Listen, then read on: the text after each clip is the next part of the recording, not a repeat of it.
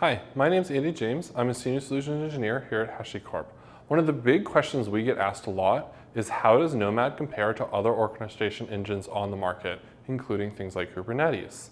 So when businesses start looking towards containerizing, one of the things that they look at is orchestration engines. So that could be things like Kubernetes, Mesos with Marathon. They might look at ECS. They might end up looking at um, Docker Swarm. There's all these different things on the market. And the very last one is Nomad. So when you start looking at these orchestration engines, you really want to determine what makes sense for your company. So the very first thing that we recommend looking at is sort of the jobs that they can run. Most orchestration engines are designed to run a Docker container. So the idea here is we're going container, we're going sort of modern applications, we need to containerize everything, so we need an orchestration engine that runs containers. But what this ends up doing is leaving a lot of things behind. When you're focused on Docker, what you're missing is that you still have a lot of infrastructure and a lot of applications that can't run in Docker yet, or might be in the transition phase. Making it easier to provide things like bin packing and redundancy and all these sort of features that an orchestration engine provides to your legacy hardware is very important. So with Nomad, you can run a lot more than just your Docker containers. We support raw and isolated executables, we support Java jar files, and we support a lot of other things. And additionally, our product and our task drivers, which is the drivers that determine what you can run, is open source, which means as a community, we can make Nomad better by providing even more task drivers to the product. A good example is that LXC was provided by our community and is now a supported thing that, that Nomad is able to do. As a product, Nomad is designed to help make sure that moving your applications from legacy to sort of modern containerized is straightforward, easy, and uses the same orchestration engine. And for cases where maybe it doesn't make sense to move to container, you still have an orchestration engine to provide all those feature sets that come with an orchestration engine on your old sort of non-containerized product. The next thing that separates us from other orchestrators on the market is security and networking. While Kubernetes has a product that offers service mesh called Istio, using Istio outside of Kubernetes is extremely difficult. It is possible, but it is a lot of work. We really wanted to make using service discovery, service networking, service mesh really straightforward for all of our users. So built right into Nomad is support for Consul, our service discovery service mesh tool. What this means is that now your Nomad jobs can have full service mesh service discovery as Consul Connect is actually built in.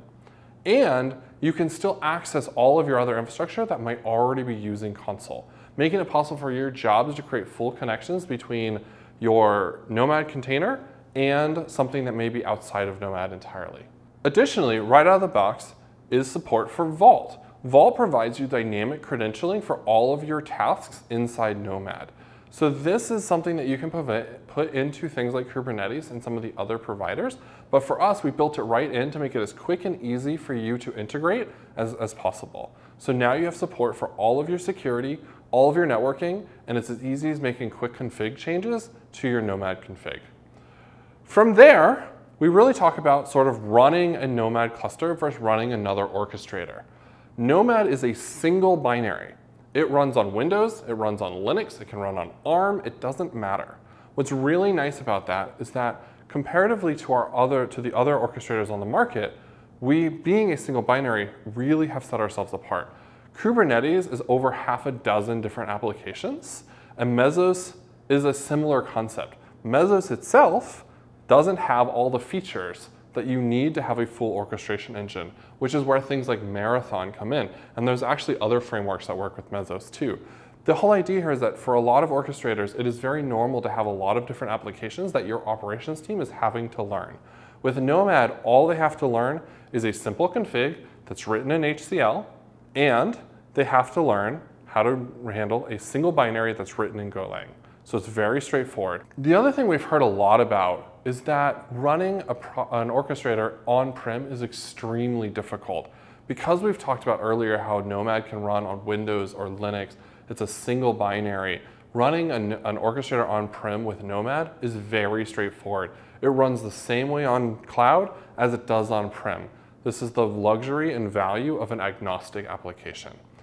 We've had customer success stories, and we have customers that are running over 11,000 nodes in production, managing over 500 developers with a team of four SREs. This is nearly unheard of in the orchestrator market.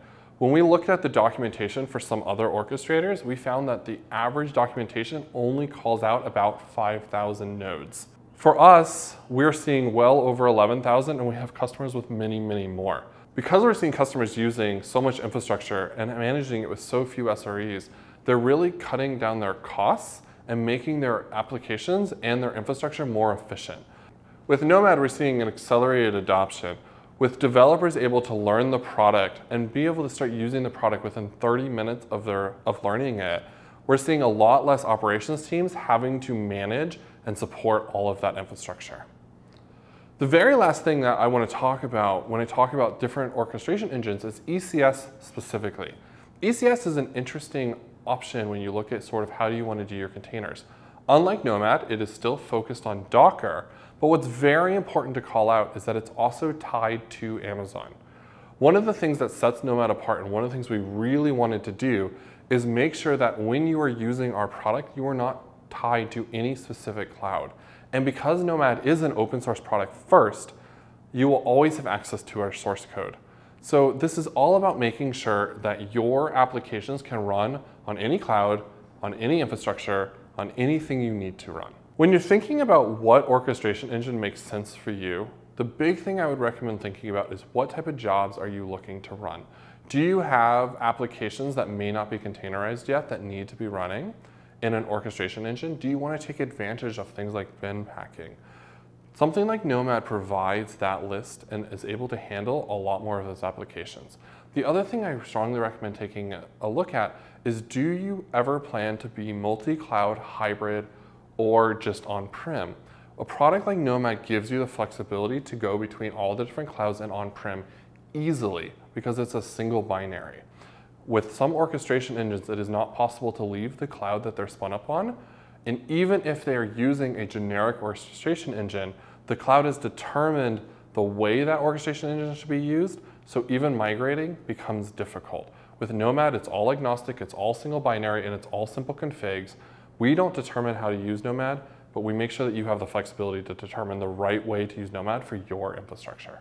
If you want to learn more about Nomad, I recommend visiting learn.hashicorp.com and checking out the Nomad track. This will walk you through how to use Nomad, how to do jobs in Nomad, how to do operation support in Nomad. If you want to talk more about Nomad Enterprise, I recommend visiting hashicorp.com and clicking on the contact us link.